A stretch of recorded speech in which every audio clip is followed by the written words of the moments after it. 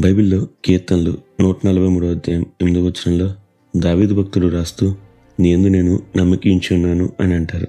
అయితే చాలామంది క్రైస్తవులు అని పిలువబడేవారు దేవుని నుండి అనేక ఆశీర్వాదాలు పొంది ఎన్నో సాక్ష్యాలు తమ చుట్టూ ఉన్నా సరే దేవుణ్ణి నమ్మలేకుండా ఉంటారు.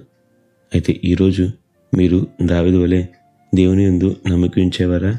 లేదా అపనమ్మకతో ఉన్నారా? అయితే వినండి ఈరోజు దేవుడు మీతోనే మాట్లాడుతున్నాడు. మరి ఈ రోజును దేవుని వాక్య ధ్యానంతో ప్రారంభిద్దామా?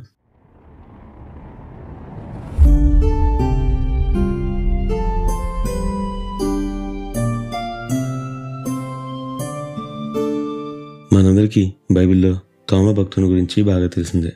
భారతదేశానికి క్రీస్తు సువార్తం తెచ్చిన మొట్టమొదటి సాక్షాత్తు ఏసయ పన్నెండు మంది శిష్యుల్లో ఒక్కడే ఈ తోమా గారు అయితే తెలుసా? తోమా గారు ఏసే పన్నెండు మంది శిష్యుల్లో ఒక్కడైనా ఆయన చేసిన అద్భుతాలన్నింటినీ దగ్గర నుండి చూసినా ఆయనపై విశ్వాసం ఉంచలేకపోయాడు.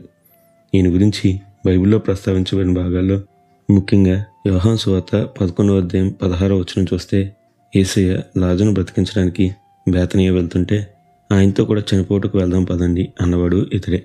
ఆ తర్వాత ప్రభు తాను పరలోకం వెళ్ళి స్థలం సిద్ధపరుస్తాను అని చెప్తే వెంటనే ప్రభువా నువ్వెక్కడికి వెళ్తావో నాకు తెలియదు అంటాడు.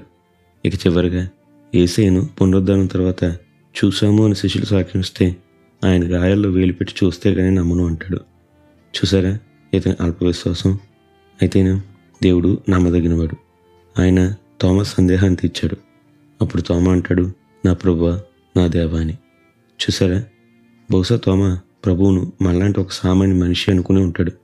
లేదా బహుశా ఓ ప్రవక్త అనుకుని ఉంటాడు. అందుకే నమ్మలేకపోయాడు. కానీ చూశాక తానే అంటున్నాడు నా దేవా అని. చూసారా?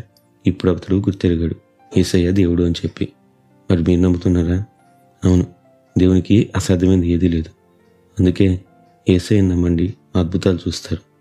అట్టి గొప్పదన్యత దేవుడు మనందరికీ దయచేను గాక. నిత్యం గణత మహిమ ప్రభావములు యేసుక్రీస్తు నామాలకే కలుగును గాక. ఆమెన్. హాలెలూయా